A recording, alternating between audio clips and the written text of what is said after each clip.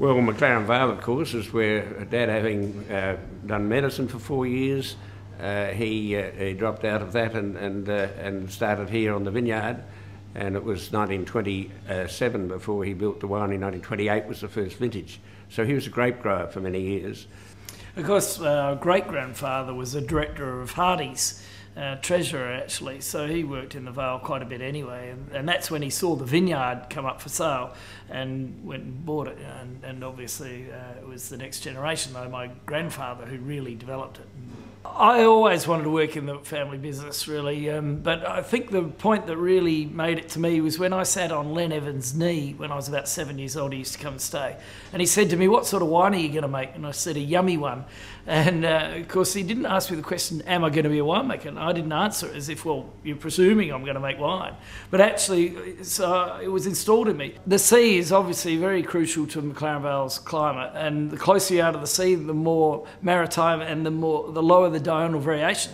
I think it's actually important to really understand what the family does bring to a winery. If it's four generations like d'Arenberg, then we, we basically have a continuum of technique in a way. We still use all the same old open fermenters. We just copied them and turned them into stainless steel little five ton fermenters.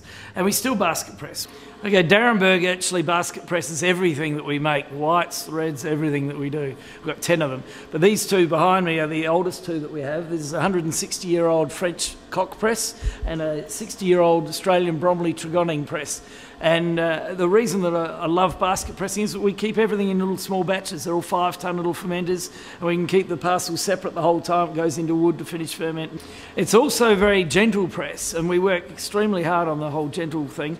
And also, the, it's such a wad of skins like this that the juice actually filters as it comes through the skins and comes out very low solids. So we can leave it in the barrel on the solids for the whole time without even racking, and it, it, then it creates like a reductive environment with the oxidative environment of the barrel so that we get this balanced effect. And the wine's fresher, oak's more integrated and uh, more lively wine. On. And it takes a long time to understand the vineyard and really make the, really get the best out of that vineyard. And so we returned all of the vineyards back to the old way.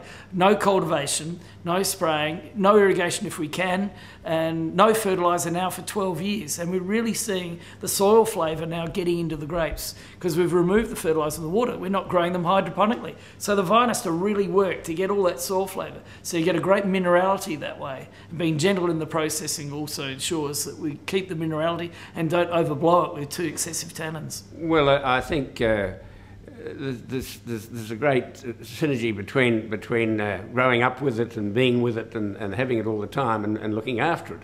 And we're very proud of the wines we make. I'm incredibly proud of what Chester's done because uh, after he came home, we modernised the winery, had all the latest technology, all the 101 things you can do. And of course, there's always improvements going in in the research in wine industry.